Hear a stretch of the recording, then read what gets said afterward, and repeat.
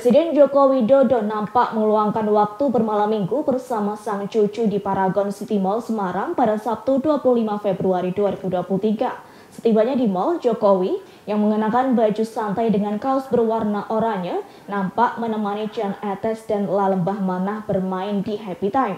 Momen keseruan tersebut terlihat saat Jokowi menemani Jan Etes bermain bola basket. Terlihat Jan Etes cukup lihai dalam memasukkan bola basket ke dalam ring. Sementara itu, Lalembah Manah yang nampak cantik mengenakan dress lutut berwarna gelap lebih memilih untuk menaiki kereta. Kemudian Jan Etes dan Lalembah Manah juga sempat bermain pancing ikan. Saat keduanya bermain, Jokowi nampak mengamati sang cucu bermain pancing ikan dari kejauhan.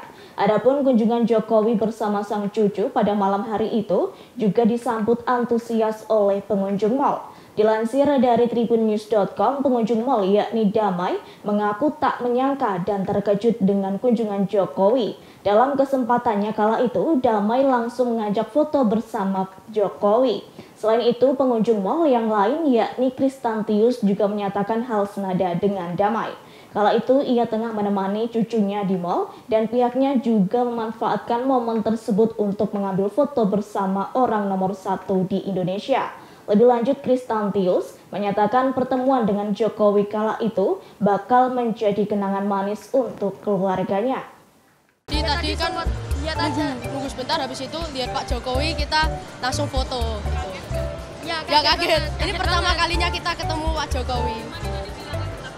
Uh, Pak Jokowi kami izin foto bareng gitu. Habis itu akhirnya ya kita selfie gitu.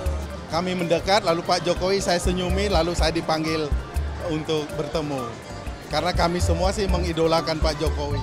Terima kasih sudah nonton. Jangan lupa like, subscribe, dan share ya.